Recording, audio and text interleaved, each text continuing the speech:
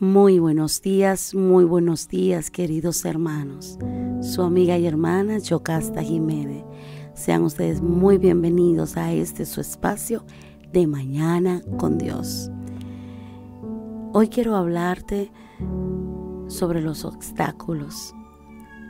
Tengo una, una anécdota acompañada de una hermosa reflexión.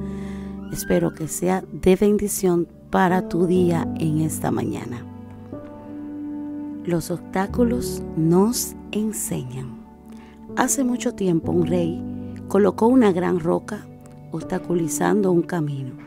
Entonces se escondió y miró para ver si alguien quitaba la tremenda roca. Algunos de los comerciantes más adinerados del rey y cortesanos vinieron y simplemente le dieron una vuelta. Muchos culparon al rey ruidosamente de no mantener los caminos despejados, pero ninguno hizo algo para sacar la piedra grande del camino. Entonces un campesino vino y llevaba una carga de verduras.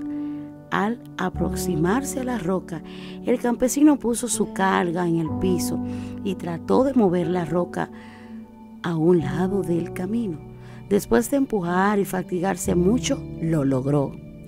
Mientras recogía su carga de vegetales, él notó una cartera en el piso, justo donde había estado la roca. La cartera contenía muchas monedas de oro y una nota del mismo rey indicando que el oro era para la persona que removiera la piedra del camino.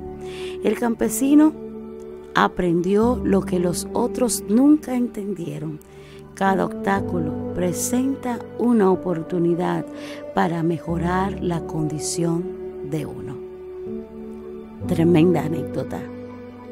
Wow, me imagino este hombre empujando esa roca y me traslado a este momento, a este lugar, con este campesino empujando en medio del sol, quién sabe la incomodidad y todo esto.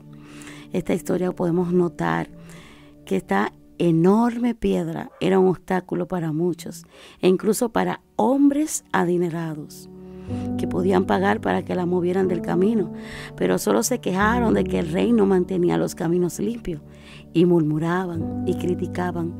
Me imagino cómo se agrupaban para claudicar, como en estos tiempos, a los gobernantes. Mas un pobre agricultor, sin pensarlo, se decide a moverla pues esta le obstruye el camino para él avanzar hacia su destino. En nuestro camino siempre habrán obstáculos que tratarán de detenernos para que no podamos continuar con nuestras metas. Pero debemos quitar de delante nuestro toda oposición y avanzar, no mirar las circunstancias ni las situaciones, sino más bien continuar con el objetivo que nos hemos propuesto. Nuestro manual de vida nos enseña en la carta de los Efesios, en el capítulo 6, verso 13, dice, por tanto, tomad todas las armaduras de Dios para que podáis resistir en el día malo y habiéndolo hecho todo, estar firme, dándonos a entender que estamos revestidos para vencer. El salmista dijo, pues contigo aplastaré ejércitos y con mi Dios escalaré murallas. No hay obstáculos ni oposiciones que no podamos vencer. Si estamos con el Señor a nuestro favor, esto solo es tener determinación y decisión para continuar y quitar las enormes piedras que encontramos en el camino.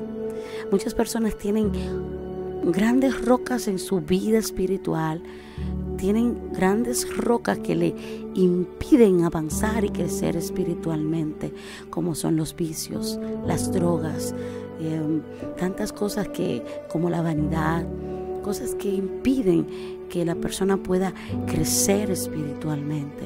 En esta mañana el Señor te dice, levántate, levántate, yo estoy contigo, yo estoy dispuesto Tú no estás solo.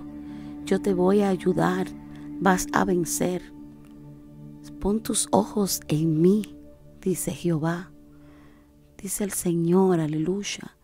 Pon tus ojos en mí y tendrás la victoria el mismo Señor Jesucristo dice, no temas, yo, yo he vencido, el Señor venció. Entonces en Cristo Jesús nosotros somos más que vencedores.